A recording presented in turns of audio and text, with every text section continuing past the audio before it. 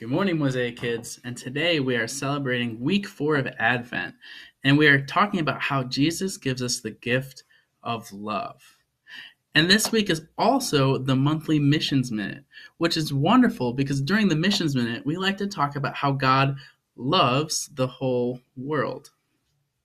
When you think about love, what, what comes to mind? What are the things that you love? You love your mom, you love your dad, you love your brother or sister if you have one?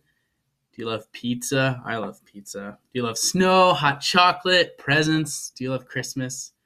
There's lots of things that we love, but ultimately, God is the source of all love. In fact, God is love himself.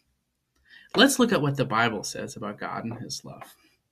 In 1 John 4, verses 9 and 10, it says, This is how God showed his love among us. He sent his one and only Son into the world that we might live through him.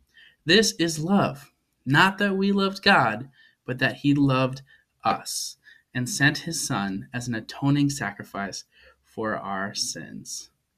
You see, God loved the world so much that he gave us the gift of Jesus. He sent Jesus to die on the cross in our place for the penalty of our sins that we deserved, but he did this because he loved us. You know, when we think about missionaries, right? Missionaries, these are the people that are sent to different cultures and different parts of the world from where they grew up. And you notice that God sent Jesus. The same word that the Bible uses to describe missionaries describes Jesus here. So Jesus was a missionary to us. He left his home, he left his perfect throne with God and all the glory that he deserved. And he entered our culture and our world so that he could give us the gift of love. And he gave us that gift by dying for us so that we might know God's love. So, in many ways, Jesus is the greatest missionary ever. And right before he went back to his home to be with God again, he told his followers, Just as the Father has sent me, so I am sending you.